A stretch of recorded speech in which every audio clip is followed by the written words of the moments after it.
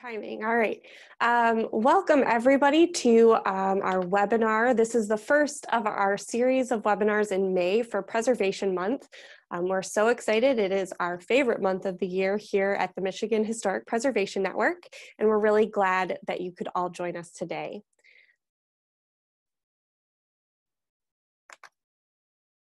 Um, so my name is Mallory Bauer, and I have the privilege of serving as the field representative for the Michigan Historic Preservation Network. And I am joined here today um, with by Nathan Niedering with the State Historic Preservation Office. We're really excited. Um, MHPN and the SHPO partner on a lot of projects, and um, sometimes uh, people confuse uh, our two organizations, so we will be spending a few minutes at the end of the presentation to, today to talk about um, whom, which organization you should reach out to depending on, on what you are working on in your community. So we're really uh, thankful and grateful for this partnership.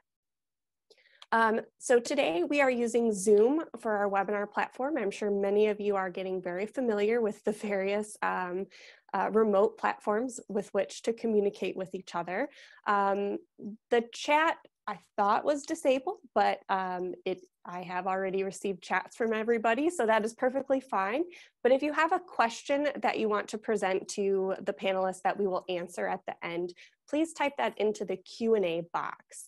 Um, that way it doesn't get lost, your question doesn't get lost in the chat and it allows us to really focus in and, and make sure that we answer those questions. The Q&A box will be found in your row of tools so if you uh, are just seeing the screen and you don't see a toolbar, you might have to just wiggle your mouse a little bit um, towards the top or the bottom of the screen and your toolbox will uh, pop up and there's a little Q&A button, little two talking blurbs that you can click on and type in your question. We will be typing some things and resources into the chat so if we say check out the chat box for a link to a resource that we talk about, um, that's where you can find that information. Additionally, this webinar is being recorded and we will send out a link to view the recording to everybody who registered and it'll even be available to those who did not. So we're really um, hoping that this will be a great resource for many people. So if you enjoyed it, which we hope you will, you can share that link far and wide. Um, the more the merrier. We, this is uh, one of the things that's part of our mission is to educate people on historic preservation and this is how we live into that. All right, so today you are joining us for Historic Preservation 101, and it really will be uh, kind of a survey course on what historic preservation is. So we will be talking about where it kind of originated, some of the important milestones in the preservation um, in creating preservation as like a field, as part of our um, community ethic, and we'll also be talking about why it's important, why it can add value to your community in so many different ways. We'll also briefly talk about designations um, and what designations mean. And then, like I said, at the end, we'll wrap up with uh, an explanation about what the State Historic Preservation Office does and what the Michigan Historic Preservation or Michigan Historic Preservation Network does. Um, and then we'll wrap up with um, Q&As. So as I said, um, I serve uh, for the Michigan Historic Preservation Network, and our mission is to advocate for Michigan's historic places to contribute to our economic vitality, sense of place, and connection to the past. We are a membership organization. If you are just learning about us today or are interested more in learning about our membership program, um, go to our website, which is www.mhpn.org. We cannot do what we are able to accomplish without our members and volunteers. So if you are a member or have volunteered with us in the past, thank you so much for your, uh, your participation and engagement. We really appreciate you. And we also want to thank um, the Michigan Council for Arts and Cultural Affairs and the National Endowment for the Arts. Um, our webinar series throughout the end of September are funded through a generous grant from these organizations, and we really appreciate their support as well. All right, and so I will turn it over to Nathan now, um, and he's going to uh, start talking about, well, in general, what is historic preservation? Hi, everyone. Uh, once again, my name is Nathan Niedering. I'm the internal project coordinator and the communications liaison for the State Historic Preservation Office, which is a unit of state government in Lansing. Um, and we'll be talking a little bit more about what the State Historic Preservation Office, or the SHPO, um, does a little bit later in this presentation. Um, but first, I'm going to go over just what is historic preservation, um, what are some of the origins of the preservation movement, um, and kind of why does preservation matter? What is the value of preservation? Why does it impact and how does it impact communities? Um, and how do people, individuals, play a role in making that happen? So um, the first is, what is historic preservation? Um, and it's basically a movement to reuse old buildings um, and keep historic areas vital because a place's history and its built environment are tied directly to its people and to its culture. Um, and in the simplest terms, historic preservation is simply having the good sense to hold on to things that are well designed, things that link us with our past in a meaningful way, and that have plenty of good use left in them. Uh, this is a quote by Richard Moe. He's the former president of the National Trust for Historic Preservation. Um, but basically, you know, even if one building, if a building's initial use may no longer be needed, it doesn't mean necessarily that the building itself isn't valuable um, and could potentially serve a new use in the future. So uh, if we can go to the next slide, um, we will take a look at the origins of the preservation movement. Um, preservation did not start as one cohesive movement from all corners of the country. I mean, truly it was started in individual places, um, typically places of important significance, um, which became endangered for some reason. And so there was sort of a grassroots effort around each one of these places to say, hey, wait a minute, this matters. Um, and this is important and we need to think about what we want to do to protect this and save this. Um, and so even places like Mount Vernon, Monticello, Independence Hall, places that we think of as like critically important to the history of the United States, um, at one point were threatened in some way. And so a local group of people got together and said, this place is important, this place matters, and we need to, to take on some work in order to save it and protect it. Um, elsewhere, residents came together to recognize that places such as Charleston or Savannah or New Orleans were unique in their development, and the development was embodied by the specific architecture or the sense of place that you have when you were in each one of those cities. Um, and so there were sort of citywide movements to say, hey, wait a minute, our places matter too, and we need to protect. So next slide. Um, really, the cohesive preservation movement um, came together uh, around in the 1960s, um, and it was very reactionary. Um, at that time, there were countrywide undertakings, uh, programs such as urban renewal and the federal highway um, you know, project, which largely sought to revitalize cities, um, but their method for doing that was to tear everything down, throw it in a landfill, and come up with something new. Um, and so people really recognize that, hey, wait a minute, we don't have a say in what's happening. A lot of these decisions are being made by other people in faraway places. And more importantly, is there anything that that is important there, you know, you're just coming in with bulldozers and going straight across the landscape. Maybe there's something important, even though some of it may, may have to go. Um, and so really it was sort of this uh, realization that led to um, the passage of the National Historic Preservation Act of 1966, um, which was an act enabled by Congress. Um, it's actually the first environmental act. If you think about the Clean Water Act, the Environmental Act, the Clean Air Act, those all took place in the 1960s and 70s, but the National Historic Preservation Act was actually the first. Um, in the creation of the Historic Preservation Act, um, it created a state historic preservation office or an SHPO or a SHPO, um, all the same thing in every state. Um, and it also created specific programs for the SHPO in each state to manage. Um, most specifically, that would be the National Register of Historic Places.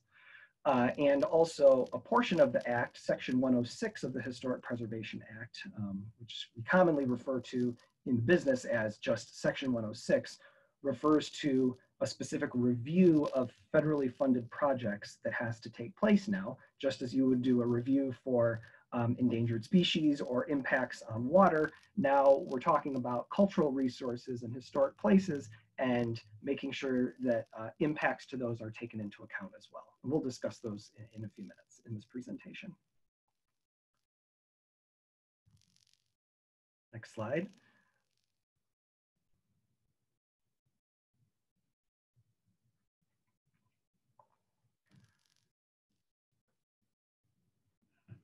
So why does this matter? What is important about preservation? Why are people, why do people think that this is worth fighting for? Um, uh, I will say also that uh, as historic preservation, right, 50 or 60 years has, has passed on, we've come to realize that um, we, we aren't just looking at things that we consider to be old 50 or 60 years ago. New places uh, or more recent places have attained a level of historical significance um, sort of in the meantime over the last 50 some years. Um, and so really this is a continuous effort. We don't just draw a line in the sand and say everything built before 1900 is historic, but everything more recent than that doesn't really matter as much. Um, the boundary is always kind of moving along with the passage of time. Um, and so really, uh, we all have a continuous um, obligation and make a continuous effort to continue to do the work of researching, inventorying, um, and taking stock of what is in our communities, what places um, do community plus matter, um, and then what can we do to make sure that those places are protected. So why does why does this matter? What is the value of doing historic preservation as a field, as a profession, um, or just as a volunteer in your own community? Um, really, one of the most important things is quality of environment and quality of life. Um, historic preservation has actually become recognized as an effective environment, uh, uh, economic development strategy and also as a tool to enhance people's quality of life. Investing in communities' historic places includes uh, buildings, districts, structures, uh, which might be things like bridges, um, objects, those might be statues or monuments, um, and really investing in those supports and grows the local economy. It curbs sprawl um, and it reduces construction waste and it adds variety and texture to a community's streetscapes, landscapes, and neighborhoods. Really what sets this community apart from every other community around it. Many of the features that people associate with quality living environments, such as access to natural beauty, walkable downtowns and neighborhoods, and varied architecture, are built right into neighborhoods that we would consider to be older or historic. In older communities, the orientation and the focus is on pedestrians and the sense of community um, revolving around walkability in, instead of the car. People are really encouraged to gather and spend time instead of just to drive through and keep going. That walkability and the varied architecture on the street are some of the features that add up to a high quality of life. People have told us this. This isn't just something we're saying. This is something that people say again and again. So historic preservation has actually been established as at both the federal and the state level as a public purpose government recognizes that our historic places and landscapes are important and that government can play a role to both recognize and protect them by regulation. Next slide.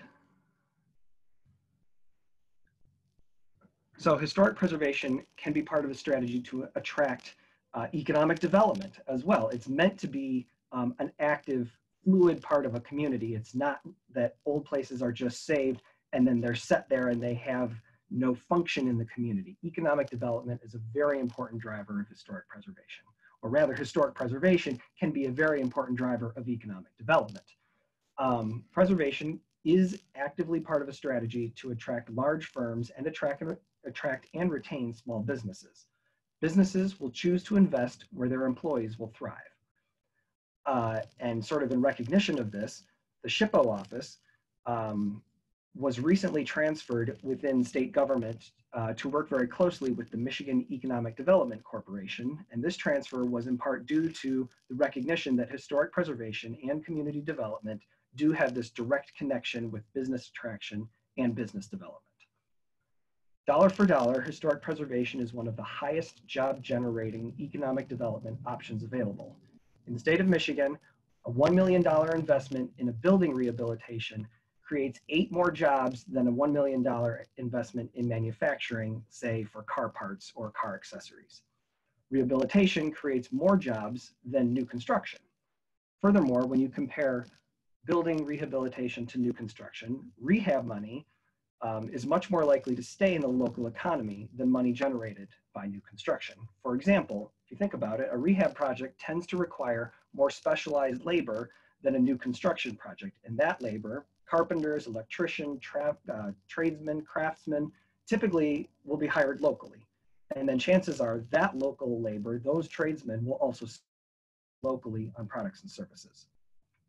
Even during times of a recession, when things are not good, in the economy, rehab projects are often more feasible because their scale tends to be smaller and they're often more affordable. And of course, the local labor keeps the value of those dollars right in the local community, providing a larger positive impact. The whole idea is to make your city a desirable destination and to attract people who will stay. Historic preservation gives cities and towns a sense of place so that people are drawn to them, and the strategy works for both large and small communities and for large and small firms. In addition, the size of old buildings and the rent for historic structures is typically right for small businesses, which are often the economic engines of cities and towns of all sizes. People also seek authentic experiences when they travel. These are places that have character. It's a place where there is a there there. We're going to go there. What does there mean? Studies show that heritage tourists stay longer in communities and spend more money. We know that 65% of Americans who traveled more than 50 miles one way included a cultural or historic destination experience on their trip. We also know that museum visits and visits to cultural institutions drive revenue in other places, such as restaurants and shops. In Michigan, a recent study by Michigan State University found that for every dollar spent in a museum, another $7.75 is spent in the surrounding community.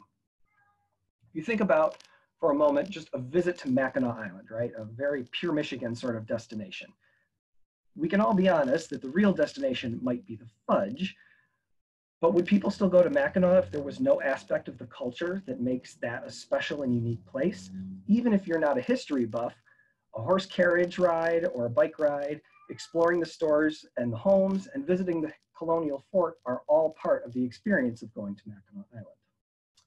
Next slide. So just to quickly reiterate, heritage tourism is also an important component of the historic preservation movement. Um, it is a component that doesn't just bring people to a town to stay, to consider moving there, but also to have people visit from across the state and, and across the country and beyond both for those authentic experiences. Next slide. So how do we do this? What's the process for making historic preservation happen? Um, we need to use the tools that we have. Uh, we need to work smart and be proactive and consider what we have in our community today. What are the, the assets that we have, even if they don't look particularly beautiful at the start, what are the things that make our community special? we need to be very intentional in engaging the, the local community and stakeholders when we're thinking about preservation projects. What does the community want? What does the community need? What are they asking for? And then most importantly, we need to work on forging partnerships. Um, and this is part of how uh, the Michigan Historic Preservation Network works with the State Historic Preservation Office, and both of our entities work with individuals, nonprofits, community governments, and beyond to really make this happen. So I will now turn this back over to Mallory. She's going to discuss um, the different levels of historic designation. This is something you may have heard of. Um, and she's also going to talk a little bit more about what the Michigan Historic Preservation Network does in the preservation community. Thanks, Nathan. Um, all right, so let's move into designation. So before we um, begin our discussion on the three different types of designations, I do want to do a plug for our next webinar in our webinar series, which will be focused on um, so you want to designate an old property. And um, we have uh, representatives from the staff who um, oversee um, some of these programs who will be answering questions and going over the application process and covering um, some of the more deeper questions that we won't even really have time to touch on today. So if you have not yet registered, um, that um, webinar will be on um, May 21st at 1 p.m. and I'm going to send out a link to our website where you can register in the chat box um, before we get started. Um, so when we talk about designations, uh, there can often be um, some confusion because not every not everyone understands that there are different levels of designation and if a property or a building is registered or is has a designation under one type um, of one level, it does not mean that they are automatically designated under the other levels. Um, so when I say a level, um, we'll start at the federal level with the National Register of Historic Places. Then we're gonna move down to the state level, which Michigan has our wonderful state marker program with those great uh, signs with um, the Wolverine on it. And then we'll move into the local historic district, which is managed by local communities and governments. Um, so that's how we're gonna move through these designation this designation process. So first of all, what is the National Register? Um, going back to, to what Nathan was talking about when um, historic preservation was coming in to its own in the 60s. Um, it was a list of places that have um, significance on either the federal, the state, or the local level um, that a community wants to recognize and designate. Um, so it doesn't have to, because it's a federal uh, level, it does not mean that it has to be a federally or a national significant moment that happened there, right? The caveat of like, did George Washington sleep in this building? No, he didn't make it to Michigan. Um, but if it's a local uh, individual or event, it still can be listed in the National Register. Um, this program is administered by the National State, uh, the National Park Service, and um, the application process does go through our Michigan State Historic Preservation Office. So a, couple different levels of um, application and then acceptance um, and official designation. One part of the National Register that I think often is misunderstood is that the National Register is strictly honorary. It is not a protected designation. So when someone or a community approaches me and says, we want to protect this building, we think it should be a National Register site and that will save it and it'll live off, live into the future indefinitely. Um, unfortunately, there are no restrictions about demolishing um, a property on the National Register um, unless, and we, but there are a few caveats to that which we will touch on in the next slide. Um, so when thinking about the National Register, there are four criteria with which um, we can look at a property and determine if it is eligible. Um, the first one is if that uh, location, or building or landscape is associated with events that have made a significant contribution to the broad patterns of our history. Or two, it is associated with the lives of persons significant in our past. Um, three, that embody the distinctive characteristics of a type, period, or method of construction, or that represent the work of a master or that possesses high artistic values, or that represents a significant and distinguishable entity whose components may lack individual, individual distinction.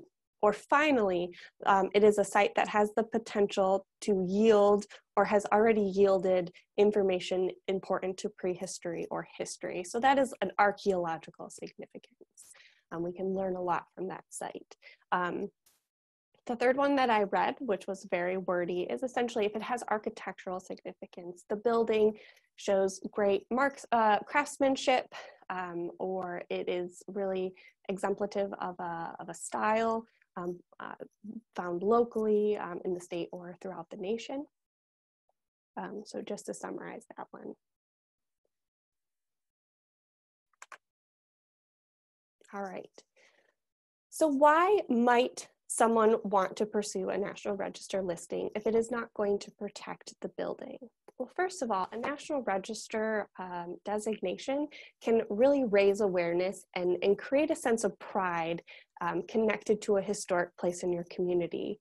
Um, there are many communities who uh, really encourage that sense of pride. Um, when we get a historic downtown or a downtown area designated um, in the National Register of Historic Places, there can be a lot of press talking about the, the community and its history and celebrating the story um, that is told in those buildings and in that place.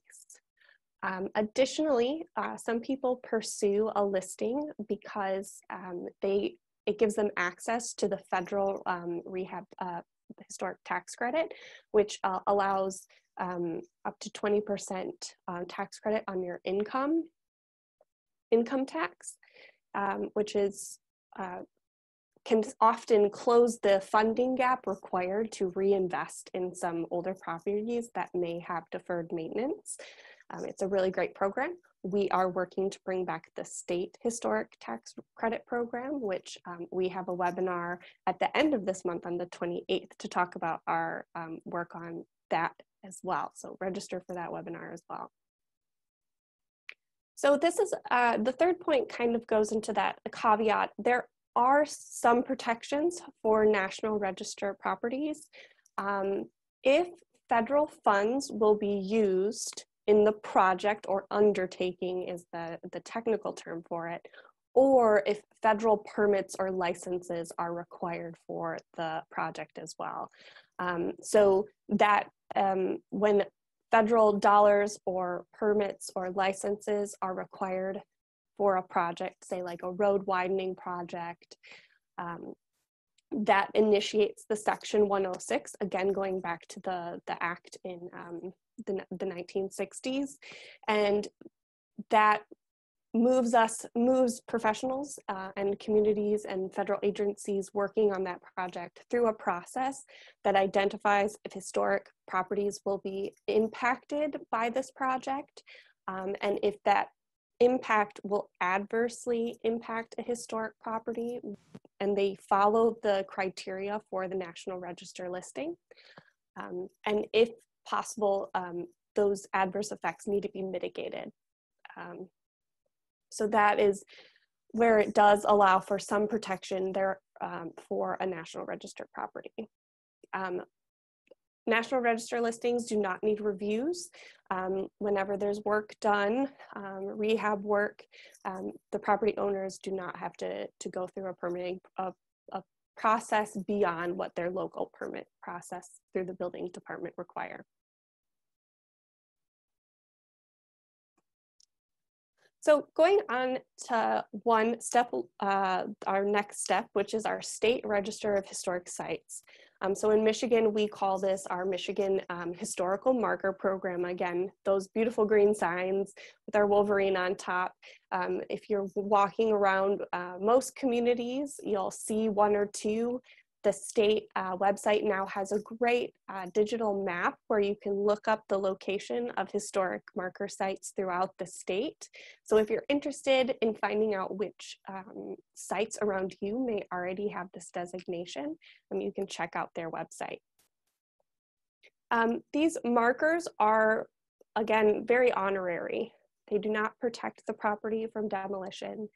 Um, those who apply for a marker um, need to provide the research about the property to the state and it goes through a review process and then the marker is paid for by the organization that is applying for that um, designation as well.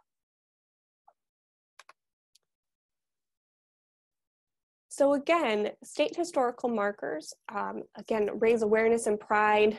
Um, they're right out front. Um, some buildings or uh, districts that are in the National Register will have a plaque to show their pride in that in that designation. Um, but the state marker program, um, every site has one as long as it's you know not um, vandalized or stolen, um, and the organization applying wants to pay for one. Um, they're also a great educational tool.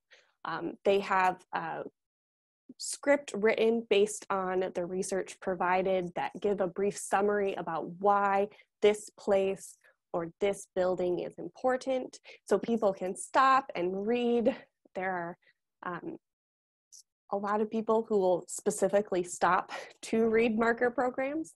Um, and then when you see a marker, you realize, right, we, we know as Michiganders that this marker means that something important or something in that impacted this community or my community if you're in your in your own um, that I should know about. And so sometimes you'll get people, it, it, helps people orientate themselves to what is in their surroundings. Um, otherwise, they could walk by a really important place where um, there was a really important event in their community and they wouldn't know because it wasn't um, communicated to them. It is a really great opportunity to encourage preservation in your community again, when you're doing your research and you're preparing your narrative, you are creating um, you are creating the story, you are researching the story and bringing that to light, which you can share with others. Um, for communities just beginning their preservation journey, um, State Marker is always a great place to start because you can have a dedication ceremony, you can make a lot of great fanfare about it. It's a very popular program. A lot of people love the State Historical Marker program. Um, so it's a really great way to, to get that started. Um, in terms of preservation, uh, it is um, requested or uh, owners of locations in the state marker program um, are asked to follow the Secretary of Interior standards, which if you boil it down very rudimentary, it means keep what is um, original, if it is um, repairable, and if it is not repairable, if something needs to be um, fixed, um, replace it with a material that is not going to hurt the rest of the historic fabric and matches the original as much as possible. And the, if I have not already said it, um, the State Historical Marker Program is run through the Michigan History Center. So now we'll move down one more layer of um, government to our local historic district. And this is a historically significant area that is protected by local ordinance. So the local historic districts are really a community-led effort that requires a lot of education and thoughtfulness um, and can be a really great um, community law and program to protect historic fabric into the future. And really, the local historic district um, uses the Secretary for Interior standards for rehabilitation, as I said with the um, state marker program. If you really distill it down, it's to repair what is repairable of the historic fabric and the materials in the building. And if they are beyond repair, to replace them with materials that are not going to negatively impact the historic materials and mimic or give the same effect as the historic materials. And really, the local historic districts helps to manage change in an area um, that is uh, historically significant So many people are ask, well, why should we have a local historic district? Um, usually like the state marker programs, there are districts, the National Register does have districts, but often they're single buildings. But a local historic district um, can also have single resources, but usually they are areas in a community that have follow the same development pattern um, and tell an important story in the creation and development of a community that um, people want to protect to make sure that that landscape continues into the future for um, people, uh, generations in the future to see and appreciate. So um, again, a way to manage change the standards for rehab, again, I'm really summarizing the local historic district. All three of these designations could have their own webinar just focusing on the nuances of the designations. Um, but we'll paint with really broad strokes because I do want to move into what we do as an organization. Um, so local historic districts can manage change. They protect property values. Um, MHPN has done uh, property value studies where we looked at the values of properties within a historic district and similar properties just outside and the historic district and we saw that property values inside the historic district maintain or increased in value as opposed to similar properties outside. Um, if you have a local historic district, you have access to the Certified Local Government Program, which we had a webinar back in April, um, and that is um, was recorded and put online, so you can find that recording. Um, there's great economic benefits. I'm going to skip over this because Nathan covered that in his um, his earlier presentation. Um, and again, you know, protecting your sense of place protects your quality of life. Um, so just a brief uh, summary. We have the National Register of Historic Places, no protection. There are some tax benefits through the federal rehab tax credit um, our state historic marker program, no protection, no tax benefits, and our local historic district. Um, there is um, protection because you have a commission that is overseeing applications for change and they go apply it to the Secretary of Interior standards, but no tax benefit. So now we're going to quickly move into what what MHPN does as an organization. At the beginning of the webinar, I said we advocate for Michigan's historic places to contribute to our economic vitality, sense of place, and connection to the past. We serve throughout Michigan, all of the counties, um, up into the UP, uh, and we do a lot of work and primarily uh, one of our programs that we do is advocacy. Um, so because we are a nonprofit we do advocate and speak to lawmakers um, about legislation that uh, helps uh, preservation in communities and organizations and property owners who want to engage with uh, preservation to pr uh, protect and reuse their buildings and, and structures. We have we attend Federal Advocacy Week in Washington D.C. We also host an annual advocacy day in Lansing, um, and this past several years we've been working hard to bring back the state historic preservation tax credit um, it is still uh, alive and we are working very hard to um, have that come back. Uh, it's a great economic development tool, which is something that will be very useful in the future. Again, if you want more information on that specific topic, please register for our webinar on May 28th. Additionally, we do local advocacy through our field services. So I will go out and meet with community leaders um, and talk about things like local historic districts, um, or what other designations might help them in their preservation efforts.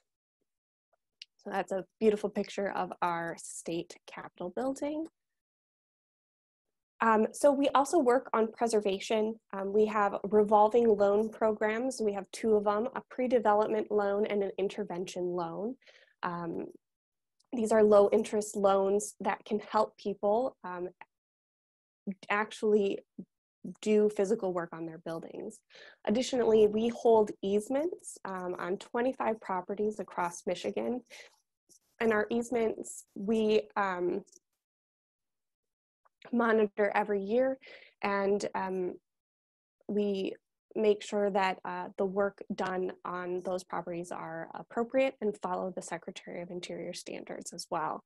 Um, so these are properties that we oversee that are outside like local historic districts that would have that type of oversight. We've also have a revolving fund for projects, our Lakewood House in Jefferson Chalmers neighborhood in Detroit, which was a property we bought and we rehabbed and then sold um, to help increase property values in that neighborhood. And then we also do some tax credit investment programs. Um, so that's a great, uh, in the upper right corner, their Jefferson Chalmers house, uh, before and after we did our work on it. Um, uh, the building below that is the Thompson block, which uh, received one of our loans, um, which is a really cool building and we're really, I'm really excited to see that one. And then um, I cannot remember the building on the, why can't I remember the building? Um, but that one is in Detroit, which we have helped out with as well. Um, we also offer training and events. Um, so if you are interested in bringing MHPN to your community to do something like a, a, historic preservation 101 or what is a local historic district presentation, that is something we are happy to do for you. Um, we also do hands-on demonstrations and um, we can do all day workshops if that is something you're also interested in doing. Um, our annual conference is usually held in Preservation Month in May, and but it, uh, due to COVID-19, we have postponed it to September 20th through 30, um, 23rd. Um, so look for information if you are interested in registering. It's a great opportunity to learn a lot about preservation and what people are doing throughout the state. We also um, have our preservation awards. We have a fall benefit that brings people together. Um, and we had a Living Trades Academy in Detroit in 2018 that provided training um, on trades like wood windows, plaster, um, and, and, masonry work um, in 2018, which um, we are, you know, we are thinking about how we can might, we can do that again in the future. So this is a collage of pictures of uh, how we get people together and we network with one another, um, the Preservation Network, so that people can learn from each other and continue to work on historic preservation in communities throughout the state. Um, finally, we have a lot of resources that we um, we have put together primarily our Historic Resource Council Directory, which is a guide that lists preservation tradespeople and professional. Um, that is on our website. All of these resources are on our website, which if you have not checked out, I would highly recommend it so you can see all of the things that we have to offer, and that is www.mhpn.org. All right. All right. So without further ado, I will switch, uh, transfer back over to Nathan so he can talk to you guys about what the State Historic Preservation Office does. All right, hello again. So uh, I mentioned at the beginning of the program that state historic preservation offices were established as part of this National Historic Preservation Act of 1966. And that act basically said that we think preservation is an important national priority, but we recognize at the federal level that we don't know everything about what is significant in each community or area of the country. So they basically said, we'll, we'll manage the program across the country, but we're gonna delegate it down to the states that each state will have a state historic preservation office in order to um, sort of highlight and, and recognize what is most important at the state level in each state and territory around the country. So SHPO offices were created um, and the act basically created the partnership between the states and the federal level, which is the National Park Service. They are a federal partner. Um, each state historic preservation office um, receives a federal allocation, which then has to be matched by state dollars. So there's both federal and state money that um, goes into running a state historic preservation office. And really the SHPO or the SHPO administers, administers specific programs within the state of Michigan. If we can go to the next slide. So really the SHPO, the structure of the SHPO um, can be divided generally into three areas. The first is identification and, and historic designation. The second is um, incentives and development. And the third is cultural resource management and planning. And when I say cultural resource, um, that's really a summary of everything. That's historic buildings, um, historic districts, uh, structures, objects, archeological sites, um, and more that all kind of get lumped together under the term cultural resources.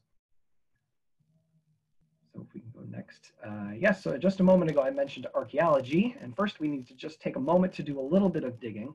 Um, when you think about historic places, maybe not top of your mind is an archaeological site, um, at least here in Michigan, but you know, truly history started before we were building buildings here. There were people um, in places around what has now become the state of Michigan that left traces of their existence from the time that they were here, occupying different places around the state. Um, and so Uh, we have an archaeologist on the staff at the SHPO, um, and we work very closely with all 12 of the recognized Native American tribes in the state. We work closely with other state agencies such as the Department of Natural Resources um, and MDOT, uh, who also have archaeologists um, and tend to do a lot of work on the ground around the state of Michigan. We work closely with university programs um, and we talk to citizens of the state of Michigan every week who call us saying, hey, I found an arrowhead. Hey, I found some pottery. Hey, I found a bone or more. Um, and we try to be able to help connect them with resources in their area to figure out what it is that they've found and if there is significance to it um, and, and what they should do about it. Because a lot of people don't know what to do. Um, and so often our office is the first point of contact. Um, this is a great photo. This is up in Fayette State Park in the Upper Peninsula. They were going to replace the floor in one of the buildings um, in the historic village site, and they started taking the, the floorboards out um, and recognized, oh my gosh, there are other foundations below this building. And so it turned into sort of a major excavation site to uncover what was there, um, what the building looked like or what was there before the current building was built. And the current one is over 100 years old now. So um, the, the archaeology aspect is very interesting. And that's another part of what we do at SHPO.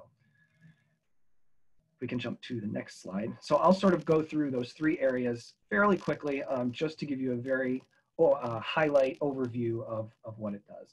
Um, really, the basis for everything is knowing what you have or discovering what there is that may be historic um, across the state, in local communities, in rural areas, and everywhere in between.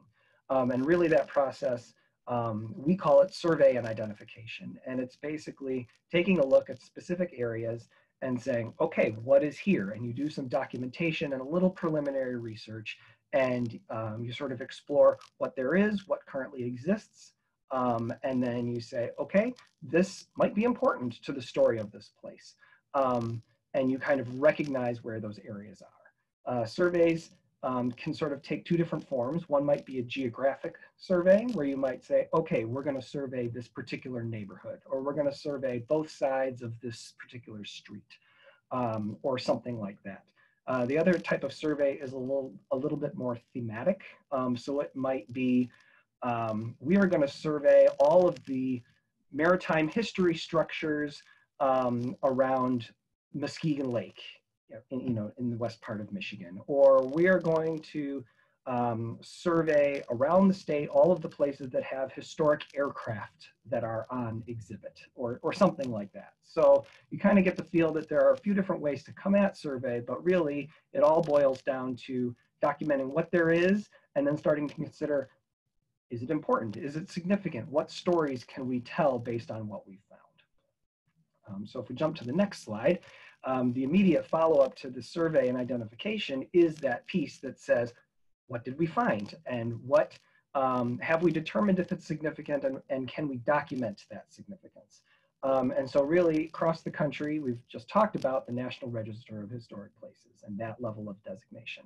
Um, and I wanted to pull out this specific part of the federal regulation that talks about the National Register um, that says it's an authoritative guide to be used by various levels of government, private groups, and citizens to identify the nation's cultural resources and to indicate what property should be considered for protection from destruction and impairment. And it basically recognizes that this is to be administered as a planning tool. Once you know what is historic or considered to be historic, then you can make informed choices about um, moving things forward in your community. A couple of important things to know, and this kind of mirrors what Mallory had said earlier, the SHPO nominates properties for the National Register, but we do not list them. This is the National Register. It's administered by the National Park Service, but those sort of recommendations are brought to them through the SHPO office.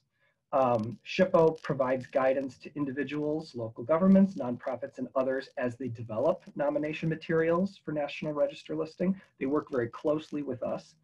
Um, and so once a nominating uh, group or person um, has worked with the SHPO and we've kind of worked out what we would call a, a, final draft. It goes before another state entity called the State Historic Preservation Review Board, and they need to approve this nomination before it gets sent on to the National Park Service. And the members of the review board um, are professionals with backgrounds in architecture, archaeology, history, um, and, and a number of other disciplines. And really, they're not there to say, we don't think this place is valuable or significant.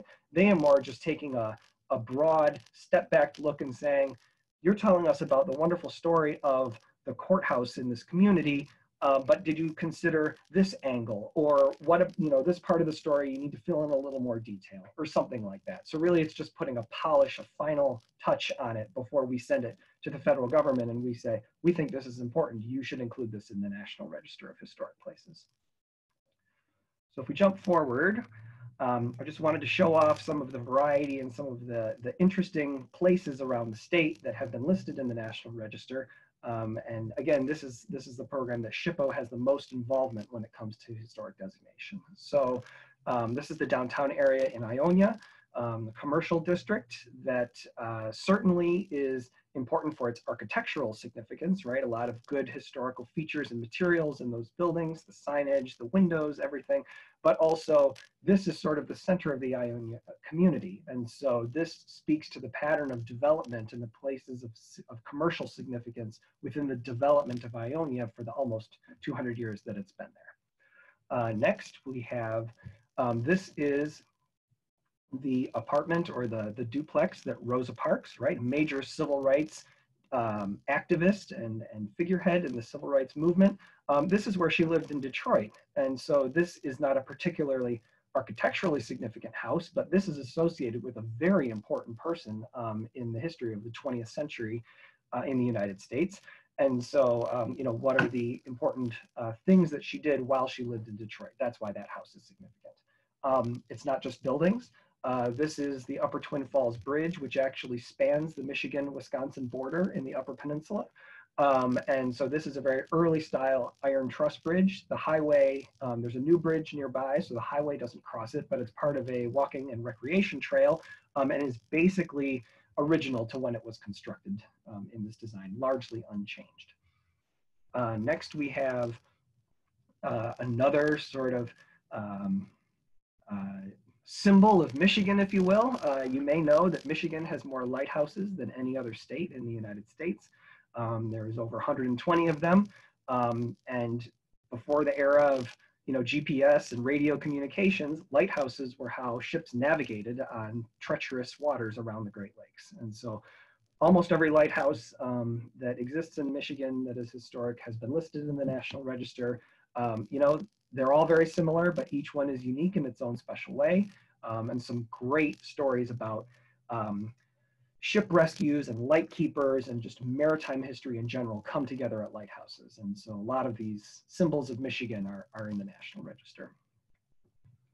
Uh, next, we have uh, sort of an interesting element of the National Register, which are historic resources that move, um, and sometimes they don't stay in the same place. So there are um, historic vessels and ships in the National Register. There are historic train locomotives. There are airplanes.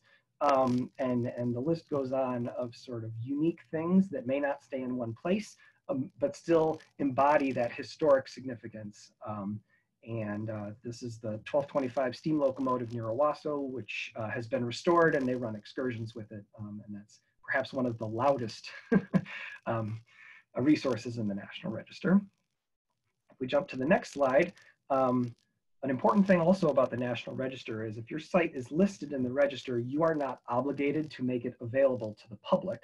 Um, it doesn't have to be open a certain number of days or anything like that. Um, and sometimes sites or places are listed on the National Register almost with the intention that they will hardly ever be seen uh, regularly by humans, but that documentation of the history and significance is still so important.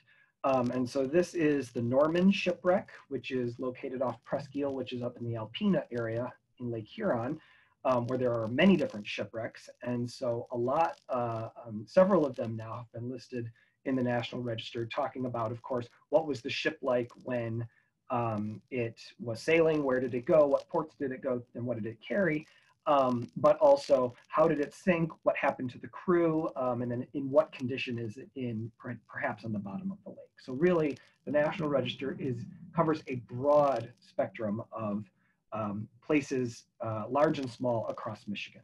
And we're adding new sites to it every single year. So if we can go to the next slide. Um, the next area is uh, uh, sort of that the SHPO works in is development and incentives. And I will say that every week we get phone calls and emails. Hi, I just bought an old building. Uh, do you have any money to help me fix it up?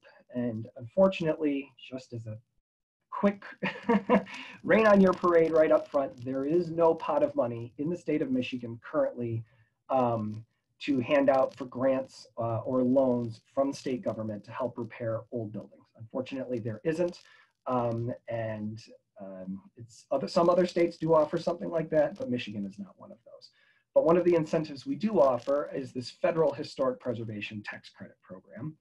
Um, very quickly in summary, it can only be applied to traditional, what would, what would be considered income producing properties. So that's typically commercial properties or something like an apartment building. Um, the property in question must be listed in the National Register of Historic Places or considered to be a contributing building to a historic district. Um, the work that's being done must be substantial. So it's not just, oh, we're going to repaint the interior or exterior, but it has to be substantial work to um, sort of breathe new life into the structure or building. And the work must be consistent with the Secretary of the Interior's standards for rehabilitation. So those items that, that Mallory mentioned earlier um, about best practices, we always recommend that people follow as a recommendation the Secretary's standards. But for tax credit projects specifically, they must follow those standards or they won't get the tax credit. So it really is a powerful incentive for them to keep the historic material, preserve as much of it as possible, um, and really retain that look and feel of the historic building as it moves potentially into a new use. We can go to the next slide. Real quick, I just wanted to show off a couple of, of fairly recent tax credit successes. Um, this is the former Armory building in Owosso. Um, you know, it was used for um, National Guard and sort of military and related functions for decades, and then they didn't need the structure anymore. Um, and so what do you do with something that had a very specific purpose and that purpose is no longer needed? This building has been rehabbed um, and now it's a, a um, it's partially office space. It's partially an entrepreneur sort of training learning space. Um, there's some flexible office um, and conference room space there. And so they really kind of looked at their community and said, what do we need in Owosso, in Shiawassee County? What are the needs? And then how can we fit them into this building that had a lot of large open spaces, which was great because they could kind of divide it up based on the uses that they that they needed in their community. And now it brings this property, you know, back. It's got new life, and clearly it's a you know architecturally interesting building to to see and visit.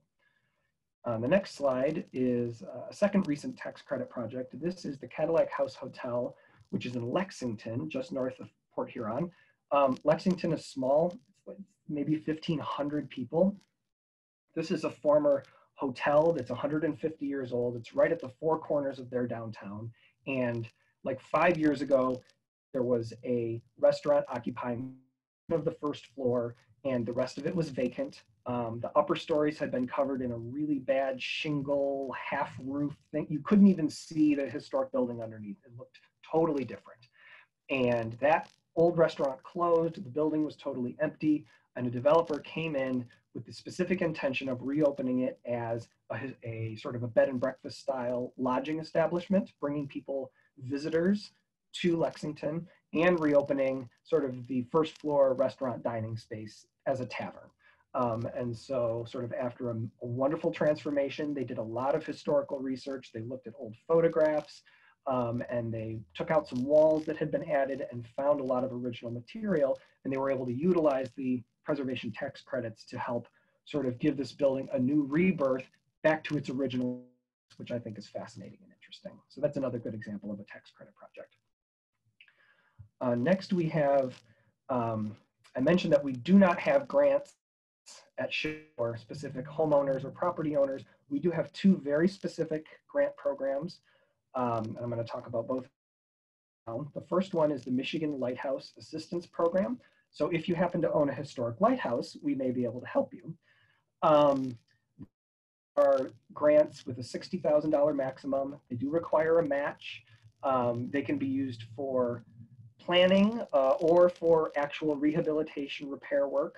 Um, typically, it's a government unit or a related nonprofit organization that applies to us. Um, and uh, these go to help restore and preserve historic lighthouses, these icons of the Great Lakes state. Um, interestingly, you can help um, sort of preserve these lighthouses if you get a Save Our Lights, Save Our Lights fundraising license plate. Um, that's one of the specialty license plates you can get through the Secretary of State. A portion of those fundraising dollars go into a fund, and that fund is what we use to give out these MLAP grants every year. And since the program has been around since 2000, you know, over two and a half million dollars has been awarded for lighthouse preservation grants. And of course, since that money has to be matched, it's an even larger investment in these historic lighthouses across Michigan. So definitely think about getting that license plate when it's time to renew um, every year. Uh, next, this is the other grant program that the SHPO offers. Um, as I mentioned earlier, SHPO receives a portion of its annual funding from the federal government. It comes through a, a channel called the Historic Preservation Fund.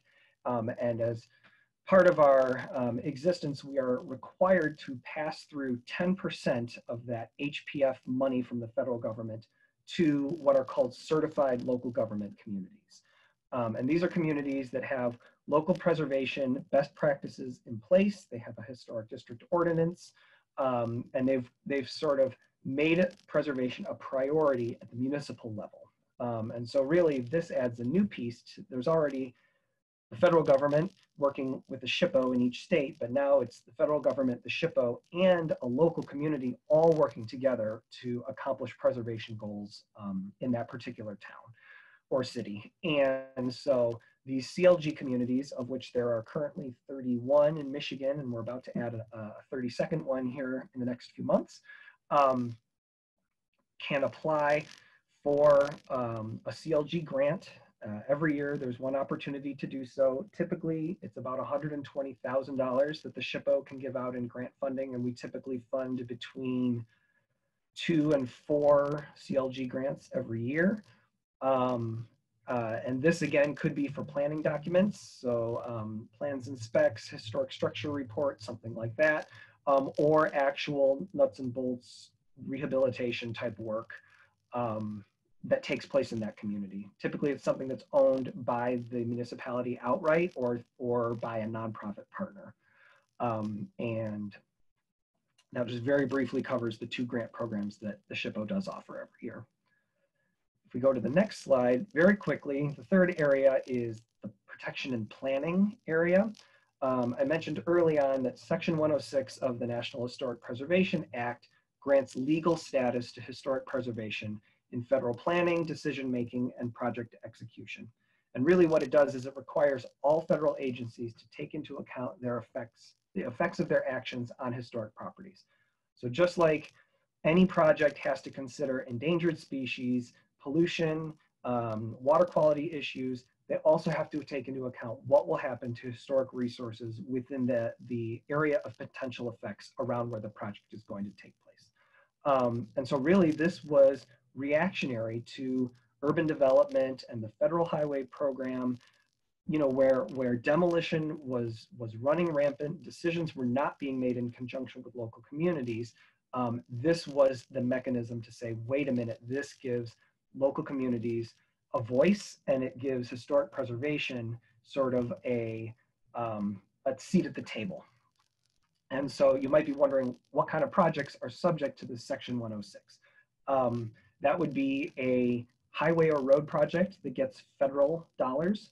Um, and you might be thinking that might just be interstate freeways, but really there is a certain amount of federal funding that goes to county um, road commissions and local road authorities. And so even you know, small road projects sometimes have federal funding and that triggers this section 106 process. Every time a new cell phone tower is constructed, it has an FCC license attached to it. So there is a section 106 review that takes place saying, is this cell phone tower going to obstruct the view um, or, or do something negative to a historic site nearby? Um, when the Army Corps of Engineers or the National Park Service or EPA um, proposes doing any work in a community, all of the work has to be submitted to SHPO in advance for us to review and comment on to make sure they're, um, hopefully are no negative consequences for historic resources, or if there are, come to a agreement ahead of time to minimize the impact on historic resources. Um, that's basically very succinctly how the Section 106 process works. And I would say in Michigan, we review uh, five or 6,000 federal projects every year that come through in all counties across the state. If we can go to the next slide, real quick, the other part is the planning portion. Um, we're required by the National Park Service as a condition of this federal funding we received to do a five-year statewide preservation plan.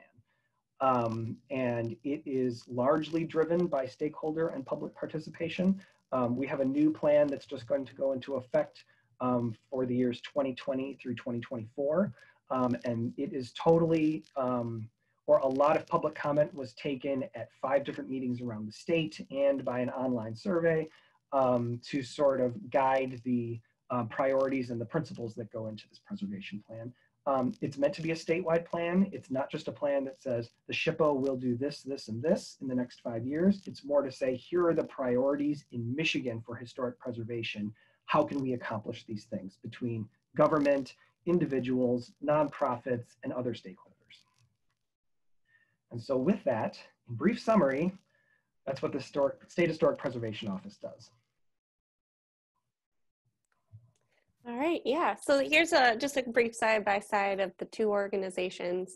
Um, we both serve two different roles, um, but we also work uh, with communities uh, simultaneously and together. It is always um, a, a, a, group project when it comes to preservation, and so uh, the more the merrier. Um, it really is about creating relationships with one another and and working towards those common goals. So um, if you are still unsure about which organization to reach out to first, um, that is perfectly okay. We're happy to um, have you send us an email um, is the best way to get a hold of us. Um, my phone, I am still able to, to receive phone calls at that, that number on your screen. Um, Nathan, since he's out of the office, is that is not the number that would be the most convenient right to reach you at. Um, Correct. Yeah, but if you go to the website for SHPO, which is michigan.gov slash SHPO, there's a whole staff list with email addresses um, and direct phone numbers and that sort of thing. So you can find us if you need us. Right, right. And so again, if you're unsure of whom to reach out to first, don't let that stop you. Send us uh, one of us an email or, or anybody from one of our organizations. And if we need to point you in the in the right direction, we are more than happy to do that for you. So um, we did have a couple of questions come in. Um, so if you have questions, you want to type them in. Again, uh, we did go over an hour, but there's just so much to learn about preservation and it's preservation month and we love spending time with you. Um, so if you need to hop off, uh, don't worry. Again, uh, this is being recorded and you will be sent a link. Um, but if you have a question, do type it in before you uh, before you leave us today.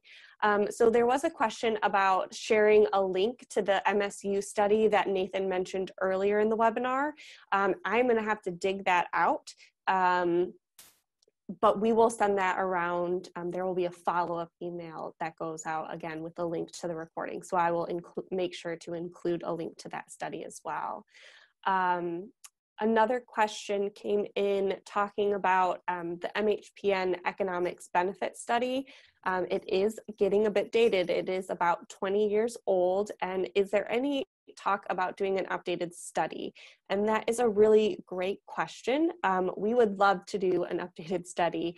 Um, one of these studies costs north of $70,000. Um, so we are um, always looking for funding opportunities that might help us cover that cost so we can do something like that in the near future because it does add so much value um, when you can bring somebody those updated numbers, uh, our economy has changed many times over the last 20 years, even in the last uh, couple months. So um, that is a really good point, and we are aware and we're looking for ways to change that. Um, there was a question that came in um, about how would a city go about becoming a certified local government? Um, and before I turn that over to Nathan for SHPO, I do want to let you know that we did have a, a, webinar focusing on the Certified Local Government Program, and we did record that, and that recording is available. Um, so I will um, put that recording link in the email that goes out with this one as well. Um, but Nathan, I will let you briefly describe that process um, before this individual is able to uh, check out that webinar. Oh, I was just going to say, watch the webinar. All the answers during the webinar. um, but yeah, actually, so um, so Alan Higgins, who is the certified local government coordinator at the SHPO office, um, did that did that webinar in partnership with MHPN just last week, um, and he um, has only been working for the SHPO for about a year, but he has really been making some great progress both in re with re-engaging CLG communities and also um, helping to bring new communities forward, get them through the process, which isn't, it's not complicated, but there are just several steps. Um, and really it has to be, it has to be brought forward by the local community. The local community has to, to stand up and say, look, we value preservation. We want to make this an important part of our planning process it, it can't be forced. It has to come from the local community. Um, and, and then the path forward to becoming a CLG is much more straightforward and easy. Um, and Alan would be happy to speak with you. Um, and again, if you go to the SHPO website, or I can, I can provide an email address as well um, for Alan, and he'll be happy to speak with you, certainly. Excellent. Thank you, Nathan. Um, and we did have a question come in just about length of, of webinars um, in the future. Um, this one was scheduled to be an hour, but again, uh, we're thanks for sticking around with us. We have there's just so much to share, so we we went over and um, we're happy. Uh, I, I, thank Nathan for his time uh, and willingness to, to share a little bit extra with us today. Um, our future webinars, the one on designations is scheduled for an hour and a half, just because we know there is a lot in that topic to uh, to get through. Um, so that one is an hour and a half. The tax credit one is currently scheduled for to be about an hour, and most of the ones into the future they'll range between an hour and an hour and a half. But that information will be in the registration. Um, uh, when you register, that that information will be there. So just pay attention to that. Um, we like it uh, an hour is kind of nice and succinct, but we are um, starting to tackle some bigger, um, complex questions and, and topics and bringing in few, a few more presenters. So we want to make sure that we can give them the time they need to communicate what they want to. So um, we're really looking forward to uh, announcing our June and July webinars. Um, so like I said, uh, keep in uh, touch with us. Our, um, the link that I shared in the comments um, to our website, to our workshops. We'll have all of our uh, links to register as the webinar's registration goes live. Um, and if you are on social media, we are most active on Facebook at this time. So that's the best place to like and follow us. And we will be present um, sharing uh, those links to register for our webinars and sharing those topics there as well. Um, again, if you have any questions about MHPN, we're at www mhpn.org. Thank you so much for your time today. Nathan, do you have anything that you want to um, say before we uh, head out? Uh, just that SHPO is also on uh, both Facebook and Twitter. So if you uh, if you want to look us up, you'll be happy to find us, and uh, you might see the same positive news being shared by both MHPN and SHPO from time to time. But we also share kind of different material as well. So if you're interested in historic preservation, you can follow both of us please do. All right. Well, thank you all again for your time today and happy Preservation Month. If you have anything that you would like to share with us, um, again, follow us on social media or send us an email and we'd uh, love to help you um, in your communities towards your preservation goals. So have a great day. Um, the sun is out and we'll see you next time. Thanks, everybody.